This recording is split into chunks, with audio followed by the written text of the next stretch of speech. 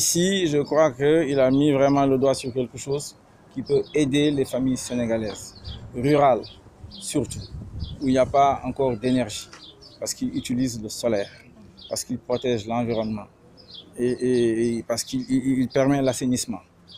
Et donc, euh, c'est une, une très belle invention, donc il faut protéger. Euh, nous allons nous battre euh, avec lui pour le faire. Ensuite, l'idée, je crois qu'avec Honorable Aiden Watch et toutes les femmes, c'est d'arriver à les convaincre que c'est une nécessité. Et aujourd'hui, le flambeau est là. Je crois qu'on n'a pas le choix. Il faut s'engager dans le solaire. On va le faire parce que ce n'est pas facile, parce qu'il y a la concurrence des autres énergies, des industries qu'il y a derrière, des lobbies qu'il y a derrière, des États qu'il y a derrière. Donc c'est pour ça que ce n'est pas, pas simple.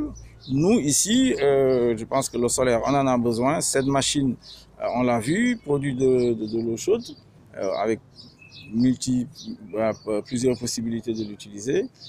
je crois que c'est très, très, très, très bien. c'est un homme très au courant de ce qui se passe dans les ménages.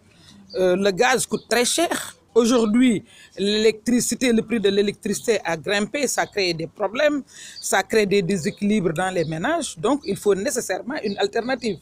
L'alternative aujourd'hui est là avec l'énergie solaire. Nous avons toujours dit que notre soleil est sous-exploité, que l'énergie solaire est sous-exploitée. Parfois, les, gens n'y croient pas, mais il faudrait véritablement positionner l'énergie solaire en alternative. Il a anticipé. Il a anticipé en quoi faisant? C'est-à-dire cette machine a plusieurs euh, intérêts. Parce que non seulement, c'est-à-dire il faut être une femme pour savoir que la femme est très à l'aise quand elle se tient debout pour effectivement accomplir les tâches ménagères. Souvent, je regardais les femmes qui travaillent péniblement dans la maison en faisant le linge ou bien laver souvent les, enfants. Je me suis dit que non, attends, il faut que je change les choses ça à trouver quelque chose au moins qui va leur, trouver, leur faciliter euh, les choses euh, pour qu'elles puissent travailler normalement. Ce que j'ai créé, c'est une machine solaire qui permet de laver, de faire aussi euh, la lessive. c'est aussi une machine qui est directement raccordée au puits perdu. Ça règle également un problème d'assainissement. Donc on n'a plus besoin de verser les eaux usées à l'extérieur des maisons.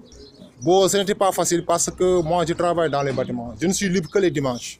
Donc, les dimanches, quand je me réveille, je fais mes calculs mathématiques, physique, chimie, je rassemble, je fais mes dessins. Après, j'ai fait appel à un soudeur, un menuisier, euh, un plombier.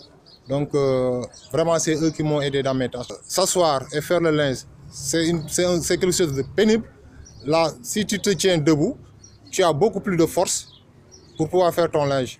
Bon, l'autre secret aussi, on peut également faire le linge avec euh, de l'eau chaude.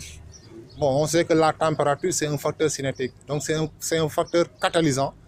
Donc, euh, pour les femmes paresseuses, excusez-moi du, terme, elles peuvent utiliser l'eau chaude pour faire euh, leur linge et attendre à ce que l'eau devienne tiède pour venir dépenser moins d'efforts et accrocher leur linge sur le lit. Côté matériel, bon, je n'ai dépensé que 60 000 francs.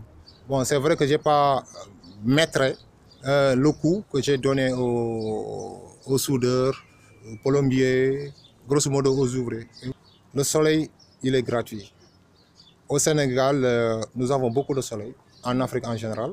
Donc c'est quelque chose qu'on peut réaliser. C'est une manière de, remplacer, l'électricité.